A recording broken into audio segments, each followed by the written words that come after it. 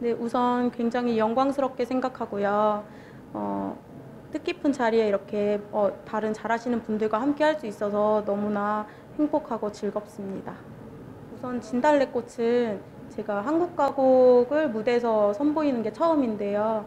어, 딱 들었을 때부터 뭔가 멜로디라던가 이런 가사 같은 게 공감이 많이 됐었고 어, 언젠가 한 번쯤은 무대에서 꼭 불러보고 싶다는 생각에 우선 가- 한국 가곡은 진달래꽃으로 선택을 했고요.